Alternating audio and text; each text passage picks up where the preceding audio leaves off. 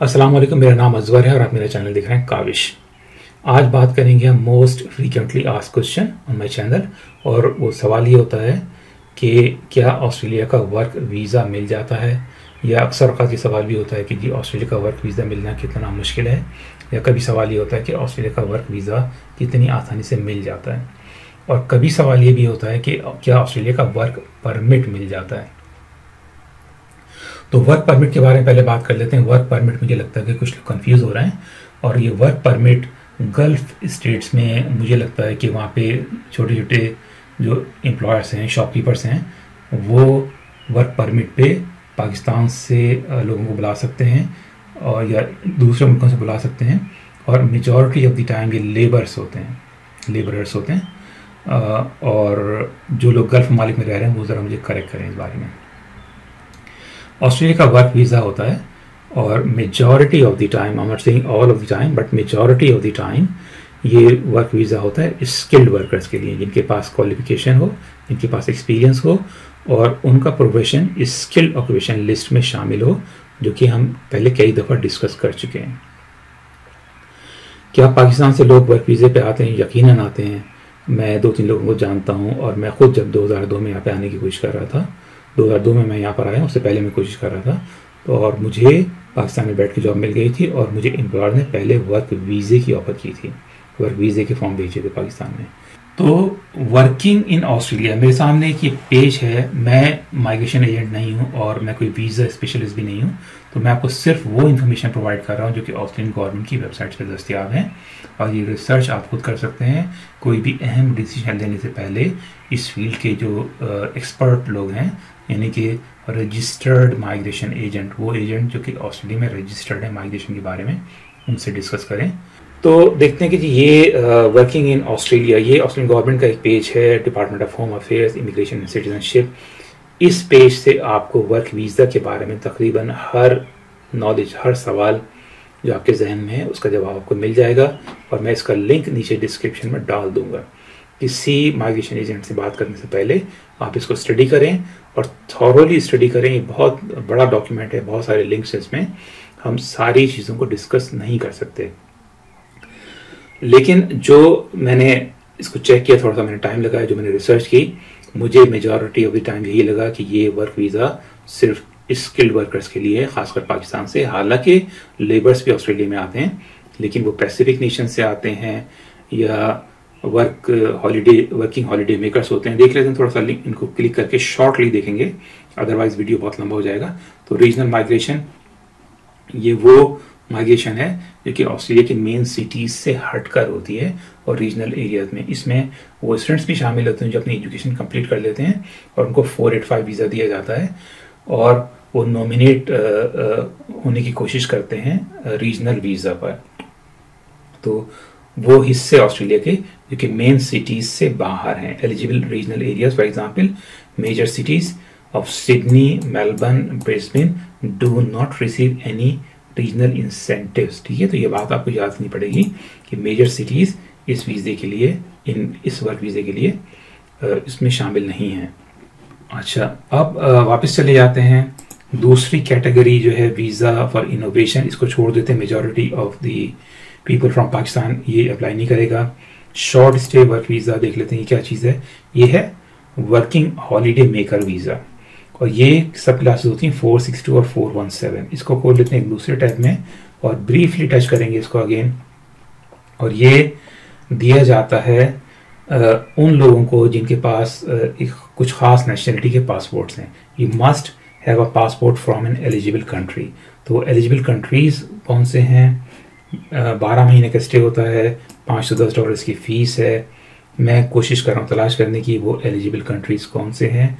यहाँ पे एक डिटेल का एक और लिंक है, इसको मैं खोल लेता हूँ दोबारा से। और डिटेल में आप देखते हैं कि जी एलिजिबल कंट्री का लिंक यहाँ पे दिया हुआ है। You must have a passport from eligible country be 18 to 30 years old apply from outside Australia not be accompanied by a dependent children अगर आप वर्किंग हॉलीडे मेकर के तौर पे आ रहे हैं और ये एलिजिबल कंट्रीज़ की लिस्ट को हम देखते हैं। होल्ड दिस पासपोर्ट तो आप ये नेशनल होने चाहिए आप अर्जेंटीना के, के ब्राज़ील के चिली के China check Republic Ecuador Greece Hungary Indonesia का पासपोर्ट अगर आपके पास है तो आप यहाँ पे वर्किंग वीज़ा पे आ वर्किंग हॉलीडे मेकर के तौर पे आ सकते हैं। वर्किंग हॉलीडे मेकर का मतलब ये है कि ये वो लोग होते हैं जो कि ट्रैवल करते हैं कंट्रीज़ को और छोटी छोटी जॉब्स भी कर सकते हैं। और इस, और ट्रैवल करते रहते हैं। थोड़ी सी जॉब की दो तीन महीने एक जगह पे या दो तीन हफ़्ते उसके बाद आगे बढ़ गए, दूसरा इलाका देखा, उसको पूरा एक्सप्लोर किया, उसके बाद किसी दूसरे हिस्से में जाके जॉब कर ली। इसराइल लग्जमबर्ग मलेशिया भी शामिल है Mongolia Peru Poland Portugal Singapore वगैरह भी है सलवक रिपब्लिक सलवनिया पाकिस्तान इसमें शामिल नहीं है। तो ये पाकिस्तानियों के लिए और इसमें इंडिया भी शामिल नहीं है। तो इसमें ये वर्किंग हॉलीडे वीज़ा जो था, ये हम लोगों के लिए नहीं है। अच्छा। अब जाते हैं परमानेंट वर्क वीज़ाज या टेम्प्रेरी वर्क वीज़ा और परमानेंट वर्क वीज़ाज ये मेजॉरिटी ऑफ़ द टाइम ये वो क्लास है, जिसके तहत यहाँ पे लोग वर्क वीज़े पर आते हैं। परमानेंट वर्क वीज़ाज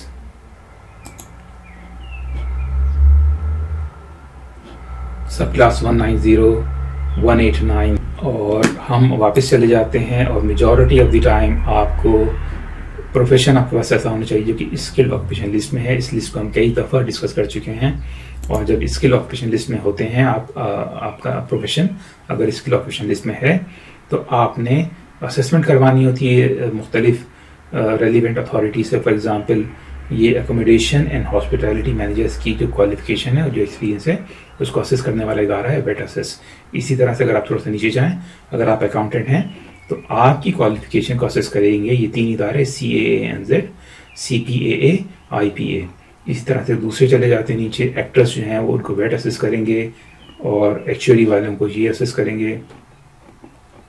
और एक्यूपंचर्स को ये कोई इंस्टीट्यूट है, ये कोई ऑर्गेनाइजेशन ये असेस करेगी क्वालिफिकेशन को।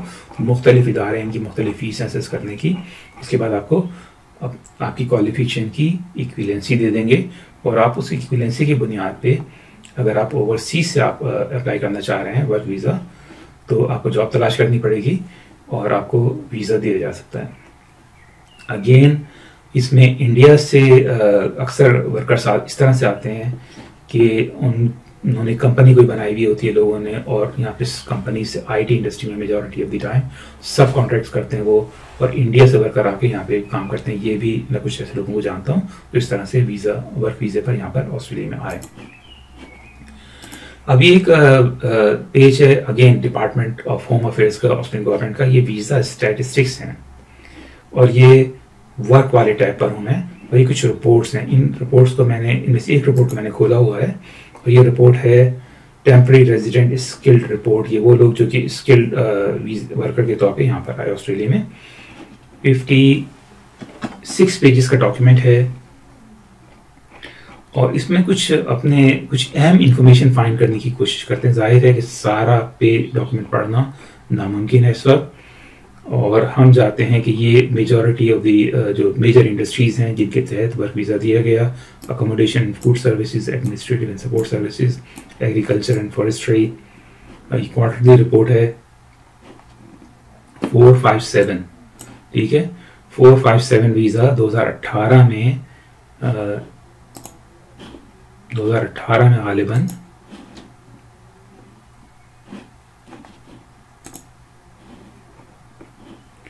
फोर फाइव सेवन वीज़ा 2018 के बाद से इशू नहीं होता इसके बाद जो नई क्लास है वो फोर एट टू होती है। ठीक है टेम्प्रेरी स्किल शॉर्टेज वीज़ा कहलाता है इसकी क्लास है फोर एट टू। दो हज़ार अट्ठारह के बाद से four eight four five seven visa की क्लास ख़त्म कर दी गई है। लेकिन आ, ये वो लोग हैं जिनको शायद पहले से इनको वीज़ा मिल गया होगा ये वाला। तो ये वो प्रोफेशनल से एजुकेशन एंड ट्रेनिंग है इलेक्ट्रिसिटी गैस वाटर आप देखेंगे कंस्ट्रक्शन वर्कर्स को काफ़ी ज़्यादा वीज़े दिए गए। अकोमोडेशन एंड फ़ूड सर्विस वालों को काफ़ी ज़्यादा वीज़े दी गई 2021 की जून तक है और ये जून 2022 में तो ये थोड़े से नंबर कम हुए हैं one percent one point one percent कम हुए हैं। अब आप जाएँ नीचे थोड़ा सा health care and social assistance तीन हज़ार नौ सौ चालीस फ़ीसदी दी गई गालिबा इसमें नर्सिस इसमें शामिल हैं। Information media and telecommunication ये वो प्रोफेशन है जो कि पाकिस्तान में काफ़ी इस काफ़ी लोग ऐसे होंगे जो कि इस हिस्से में, इस फ़ील्ड में नॉलेज रखते होंगे। Manufacturing mining other services public administration and safety और इसी तरह के दूसरे प्रोफेशन इसमें शामिल हैं। अब थोड़ा सा और नीचे जाते हैं। ये top 15 citizenship countries for applications granted in 2022 21 22 to June 2022 by applicant type. तो सबसे ज़्यादा वर्कर्स जो आप देखेंगे इंडिया से हैं आठ हज़ार नौ सौ तीस। और मेरा अंदाज़ा ये है again I can be wrong मेरा अंदाज़ा ये है कि इसमें मेजोरिटी ऑफ़ दी वर्कर्स या तो आईटी से होंगे या फिर नर्सिंग से होंगे। आईटी से uh, मुझे मालूम है कि काफ़ी सारी इंडिया से कंपनीज़ हैं जो कि लोगों को हायर करती हैं वहाँ से और यहाँ पे सब कॉन्ट्रैक्टर्स हैं और कुछ इदारों के साथ और वहाँ से इंडिया से वर्कर्स को यहाँ पे लेकर आती हैं। यूनाइटेड किंगडम से सेकंड नंबर पर है। इस लिस्ट में आप देखेंगे टॉप 15 कंट्रीज़ में पाकिस्तान का नाम शामिल नहीं है। इसका मतलब ये नहीं है कि पाकिस्तान से लोग वर्क वीज़े पे यहीं नहीं आते, लेकिन स्किल्ड वर्कर्स आते हैं। उनका प्रोफेशन स्किल्ड ऑक्यूपेशन लिस्ट में होता है। उनकी क्वालिफिकेशन असेस हो चुकी होती है पाकिस्तान में बैठकर ही। आईएलटीएस का एग्ज़ाम अंग्रेज़ी के एग्ज़ाम उन्होंने पास कर लिया होता है। और उसके बाद उनको वर्क वीज़े पर यहाँ पर आते हैं और बहुत सारे लोग जो वर्क वीज़े पर आते हैं, बाद में ऑस्ट्रेलिया के परमानेंट रेजिडेंट भी हो जाते हैं परमानेंट सिटीजन सिटीजनशिप भी ले लेते हैं। उम्मीद है कि ये इंफॉर्मेशन कुछ लोगों के काम आएगी और कुछ मुफीद साबित होगी। ख़वान की इज़्ज़त करना सीखें, बुज़ुर्गों का एहतराम करें और अपने कामों को दयानतदारी से करने की कोशिश करें, उनमें ज़रूर बरकत होगी। मिलते हैं अगले वीडियो में। अल्लाह हाफ़